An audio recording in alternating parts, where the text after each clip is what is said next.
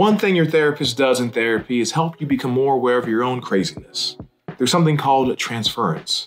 What's transference? Transference is the craziness you bring into therapy due to your past trauma. It causes you to project and misinterpret your therapist's actions, resulting in you entering into the relationship with your therapist in potentially unhealthy ways. When I say your craziness, that's my fancy way of saying neuroticism. Now, you're probably wondering, what's neuroticism? Well, let me show you some examples. Neuroticism is your hypersexuality that causes you to try to seduce your therapist, your hypercompetitiveness and insecurity that causes you to want to challenge any insight your therapist gives you that's counter to how you imagine yourself. It's your hyperdependence that causes you to overly rely on your therapist to help you in ways that you need to figure out on your own. It's your emotional instability that causes you to lash out at your therapist when they call you out on your bullshit. And it's your manipulation that causes you to want to be dishonest and try to deceive and control your therapist's perception of you.